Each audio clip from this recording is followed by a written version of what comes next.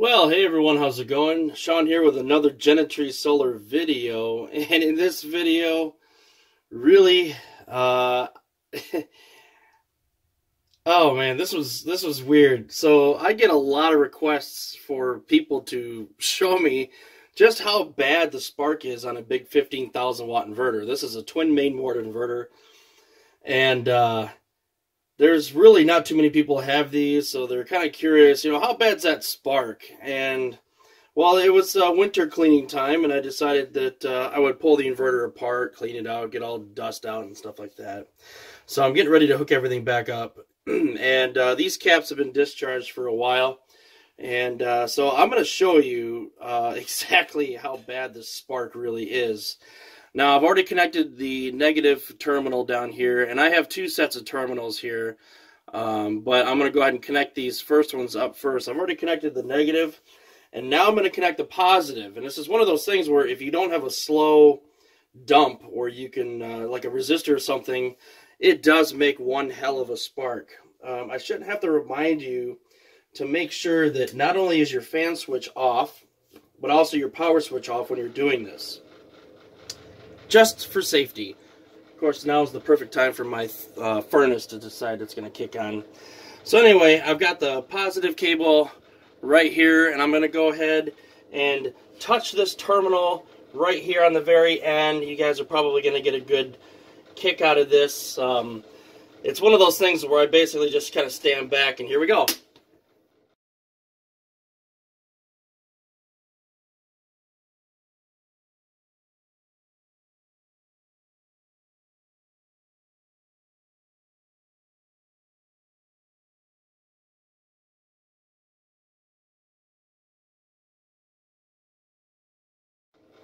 And there you have it.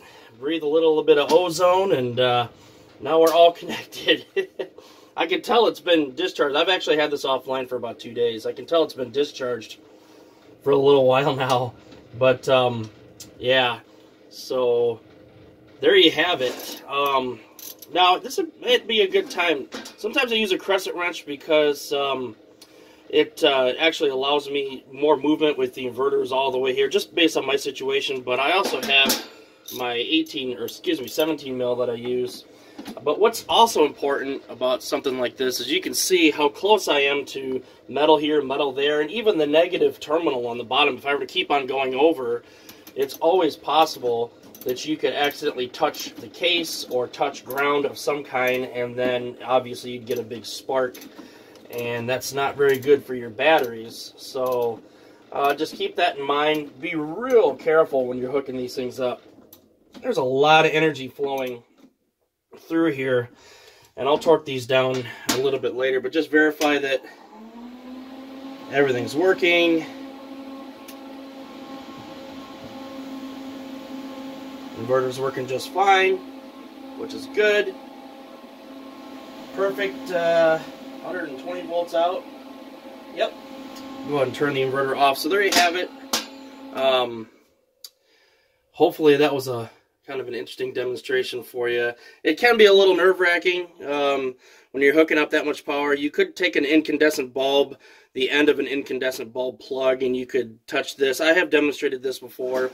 Um, these days, I just just let it rip. I mean, I've never had an inverter that has been damaged because of that, or at least not that I know of. So, uh, you know, it is what it is. Now, I'll go ahead and connect my second set up. I have another negative and positive cable there to go ahead and hook up. That one's a little bit more unusual because this one doesn't reach. So I actually have to bring the inverter all the way forward. That's why I do this side first. Just my situation here. So anyway, guys, hopefully you enjoyed that uh, fun demonstration there. And, uh, of course, if you have any questions, let me know. GenetrySolar.com. That's where you find power jack inverters, as well as spare parts, replacement parts for your power jack inverters. And if anything's on there, or if anything's not on there that you need for your inverter, just hit me up and I'll get you a price on that and get it sent out for you. And, of course, 833 Genetry, toll free, where you can get a hold of me. Text me call me. Keep in mind, I'm on the phone pretty much nonstop all day long talking to customers. I appreciate the customer interaction, but unfortunately, it does make things pretty busy. So if I don't answer right away, just uh, listen to my dogs and cats uh, chase each other around. So, all right, guys, I hope you enjoyed this video, and as always, take care.